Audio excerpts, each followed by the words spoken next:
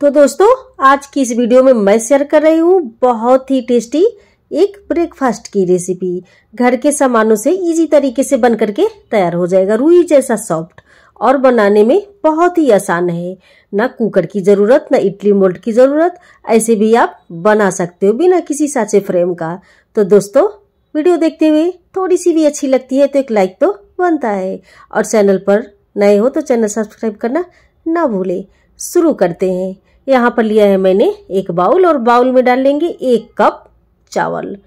कोई भी चावल आप इस्तेमाल कर सकते हो, जो रेगुलर यूज़ में, घर में करते हो, उससे आप बना सकते हो। आधा कप चने की दाल और जिस कप से मैंने चावल लिया है, उसी से एक चौथाई कप उड़द की दाल। छोटे वाले चम्मच से देखे तो दो से तीन चम्मच ये उड़द के दाल होंगे। अब क्या करेंगे? इन्हें अच्छे से वॉश कर लेंगे। दो से तीन पानी से अच्छे से रगड़ रगड़ करके धो दीजिए, ताकि सारी गंदगी निकल जाए। अब धोने के बाद में इसमें डाल देंगे पानी और इसे फूलने के लिए छोड़ देंगे। तीन से चार घंटे तक इसे फूलने दीजिए। अब यहाँ पर दाल फूल करके तैयार है। अब इन्हें हमें पीसना है। तो मिक्सर जार में हम पानी निकाल देंगे और दाल चावल को डाल लेंगे। अब इसमें डाल देंगे थोड़ा सा पानी और ढक्कन लगा करके इन्हें पीस लेंगे। अब यहाँ पर देख सकते हो, दाल पीस करके तैयार हो चुका है। इस तरीके से पीसना है, बहुत ज़्यादा लिक्विड नहीं और बहुत टाइट नहीं। तो दाल पीस लेंगे और डाल देंगे एक बाउल में, जैसे हम डोसा के लिए बैटर तैयार करते हैं ना, उस तरीके से। और डाल देंगे थोड़ा सा नमक और डाल देंगे मीठा सोडा। आप देख सकते हैं छोटा सा चम्मच लिया है उससे आधा चम्मच मैंने मीठा सोडा डाला है। थोड़ा सा पानी डाल देंगे और अच्छे से इन्हें मिक्स कर देंगे। अच्छे से फेंटिएगा, अच्छे से फर्मेंटेशन होगा, फिर जो हम बनाएँगे नाश्ता, रुई की तरह सॉफ्ट बनेगा और फूलेगा। तो अच्छे से इसे मिक्स कर देंगे और फिर मिक्स करने के बाद में ढक्कन लगा देंगे हम और थोड़ी देर के लिए छोड़ देंगे। तब तक इसके लिए कुछ मसाले तैयार करते हैं। थोड़ा डिफरेंट बनाएँगे। ना इडली है, ना ही ढोकला है। थोड़ा सा डिफरेंट नाश्ता है। तो यहाँ पर मैंने दो हरी मिर्च, थोड़े से लहसुन के कर लिया एक इंच का टुकड़ा अदरक कर लिया है। और इन्हें हम अच्छे से कूट लेंगे इस तरीके से।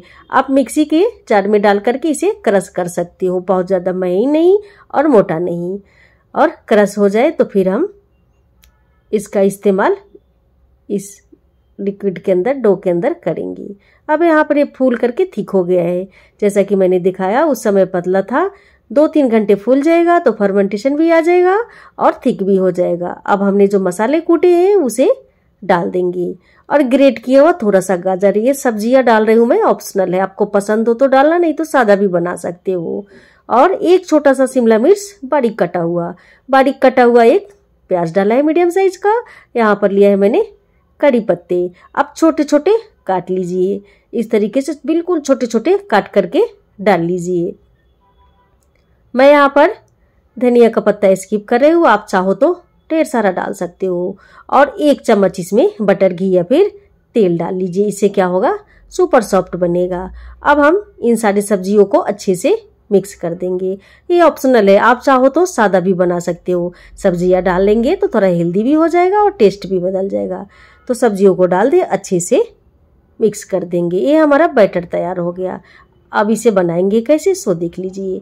तो यहाँ पर मैंने ली है एक साइज़ की चार कटोरियाँ। घर में जो दाल सब्ज़ी खाने के लिए हम कटोरी यूज़ करते हैं ना, उस कटोरी में बना सकते हैं।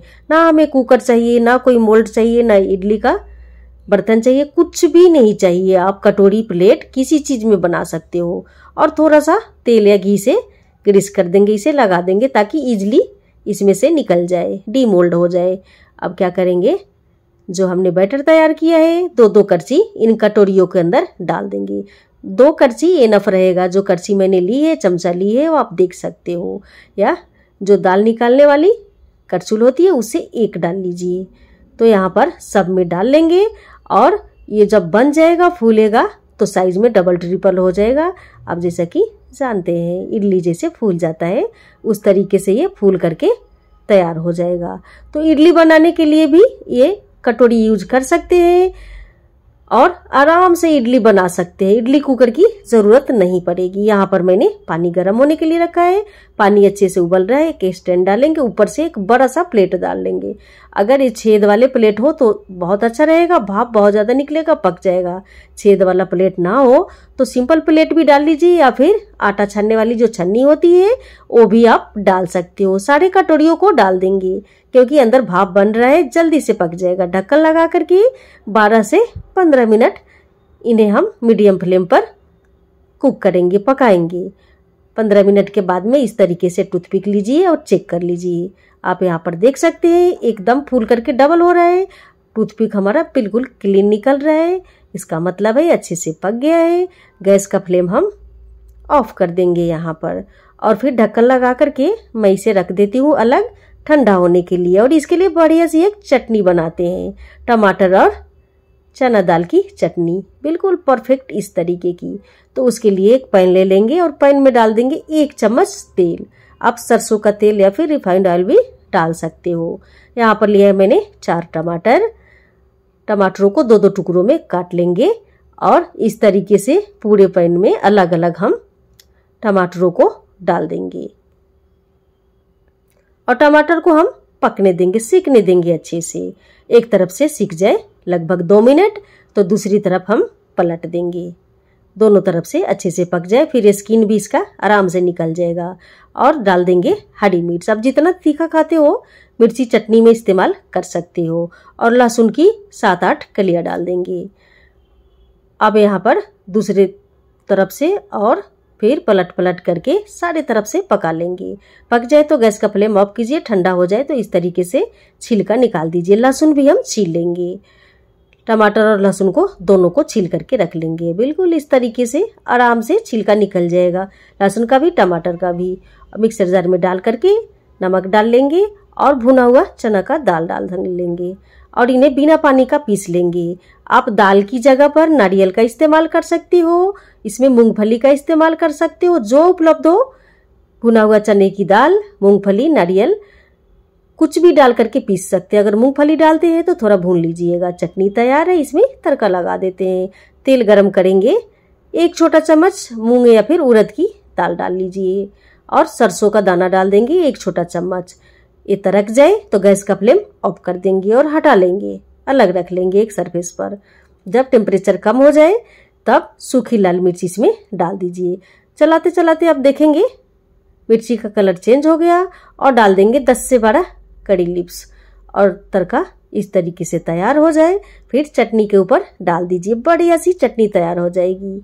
तो इस चटनी को आप चावल, रोटी, किसी चीज़ के साथ इस्तेमाल कर सकते हो।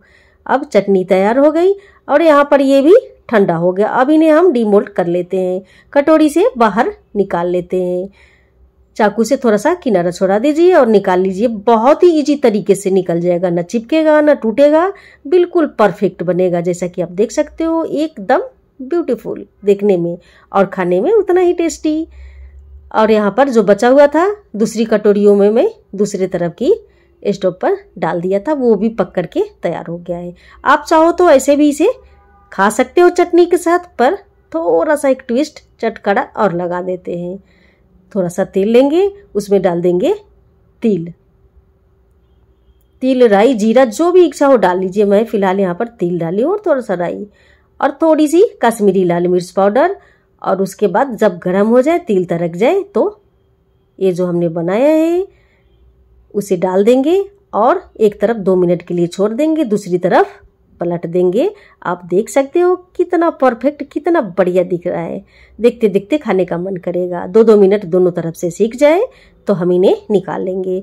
अब बचे हुए जो तड़के हैं, उसके अंदर और जो हमने बनाया था, उसे भी डाल करके सीख लेंगे। और यहाँ पर मैंने जो चटनी तैयार की थी, वो और अपना ये जो नाश्ता है, सर्व कर लिया है। तो है ना टेम्पटिंग बहुत ही ब्यूटीफुल और टेस्टी नाश्ता। सुपर सॉफ्ट तो इस नाश्ते को एक बार ट्राई कीजिएगा। कैसा लगा कमेंट बॉक्स में अपने विचार शेयर कीजिएगा और ऐसी ही इंटरेस्टिंग रेसिपी देखने के लिए मेरे चैनल को आप ज्वाइन कर सकते हो। यहाँ पर मैं तोड़ के दिखा रही हूँ, आप देख सकते हैं कितना मोटा रुई की तरह फूल करके तैयार हुआ है। आप एक दिन पहले तैयार करके रखिए बैटर और नाश्ते में बनाइए। तो मिलते हैं दूसरी रेसिपी के साथ। नमस्कार।